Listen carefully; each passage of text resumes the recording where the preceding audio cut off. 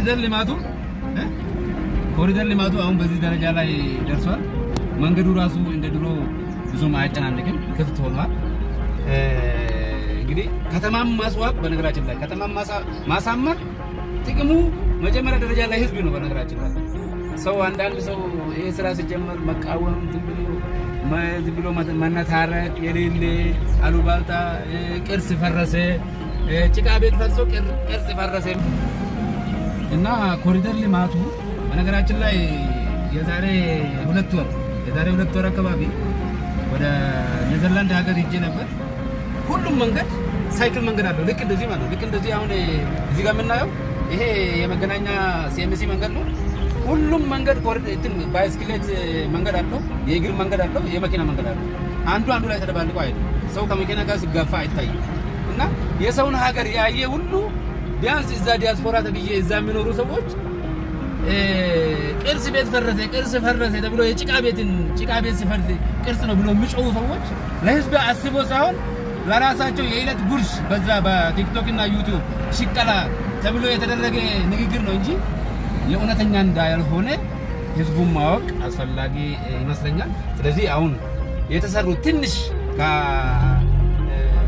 ከተማ ውስጥ የተሰሩ የኮሪደር ልማት minimum ቢያንስ 10 10 percent የማይበልጥ ስራ ነው። ይሄ ስራ ደግሞ በጣም ህዝቡን ብዙ ነገር አሳይቶታል።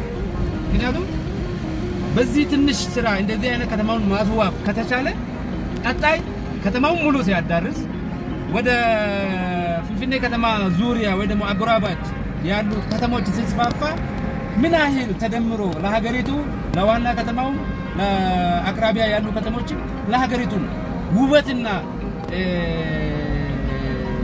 ያማረ ቅርጽና ውበት እንደሚሰጥ አያጠራጥርም። ስለዚህ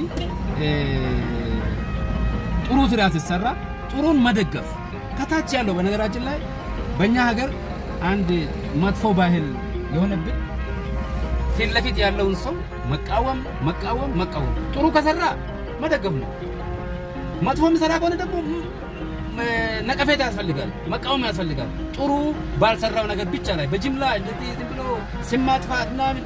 ምክንያቱም እዛ ጋር የተቀመጠ ሰው ነው የሚያውቀው። እዛ ጋር የተቀመጠ ሰው ህዝቡ የማያመሰግን ከሆነ ጥሩ ሰርቶ የማያመሰግን ከሆነ ለምን እሰራለሁ የሚለው ነገር immoral የሆነ comfort የማይሰጥ ነገር ስለሚሰማው እንዳውም ጥሩ የሚሰራው ራሱ ሊያበላሽ ስለሚችል መደጋገፍ፣ መጥፎ የሰራውን ደግሞ በመጥፎነቱ መነቀፍ ነቀፌታ ያስፈልጋል።